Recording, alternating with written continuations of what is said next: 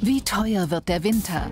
Strom, Gas, Benzin. Die Energiepreise explodieren. Wer soll das bezahlen? Und Tempo 30 in ganz Freiburg? Die Stadt will mehr Sicherheit und Lebensqualität. Doch was sagen die Autofahrer? Zur Sache Baden-Württemberg. Donnerstag, 20.15 Uhr.